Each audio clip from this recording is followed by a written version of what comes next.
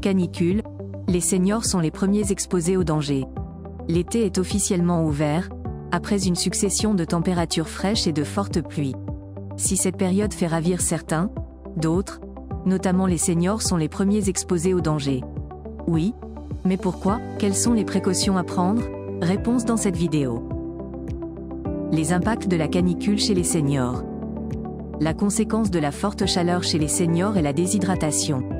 Vous devez comprendre que lorsque la température est supérieure à 37 degrés, le corps produit plus de sueur pour l'évacuation de la chaleur et le maintien des fonctionnements naturels de l'organisme. Or, comme vous le savez, cette sueur doit être compensée par de l'eau. De manière générale, la consommation d'eau est poussée par la sensation de soif. Mais, la situation est légèrement différente chez les personnes âgées puisqu'elles n'ont pas forcément cette envie. Ce mécanisme intervient souvent avec un certain retard. Il est également à noter que les troubles de sudation sont plus accentués chez les seniors. Contrairement aux jeunes, ces derniers produisent moins de sueur.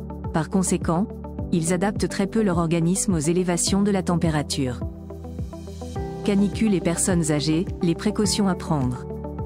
Pour éviter les sensations d'inconfort, il est fortement recommandé de fermer les rideaux et les volets entre 10h et 18h. Ainsi, ces deux éléments pourront faire barrière contre les rayons de soleil qui, captés par la vitre, font augmenter la température à grande vitesse. Ayez également l'habitude de fermer toutes les portes à l'intérieur pour que l'air chaud ne puisse pas circuler d'une pièce à l'autre.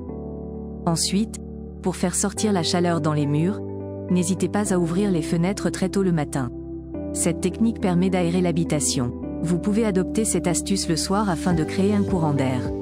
Pensez également à utiliser le bon appareil qui apportera de la fraîcheur dans votre maison. Le ventilateur, par exemple, le plus conseillé. Pour maximiser votre confort tout au long de la journée, le modèle au plafond est votre meilleur allié. Pour absorber la chaleur, vous avez la possibilité de créer de l'humidité en passant la serpillière en milieu de la journée, par exemple. Certains individus choisissent aussi d'étendre leur linge à l'intérieur pendant les périodes de canicule. En outre, il est toujours préférable de ne pas sortir entre 11h et 15h. Cependant, si vous êtes obligé, portez des vêtements légers, de couleur claire et ample. N'oubliez pas votre chapeau. Munissez-vous d'une gourde ou d'une bouteille d'eau pour vous hydrater. Attention avec les boissons très sucrées ou celles à forte teneur en caféine. Enfin, pour réduire les émissions de chaleur, veillez à débrancher les appareils comme les box, la console de jeux vidéo, l'ordinateur, etc. En même temps, cela vous permettra de réaliser une belle économie d'énergie.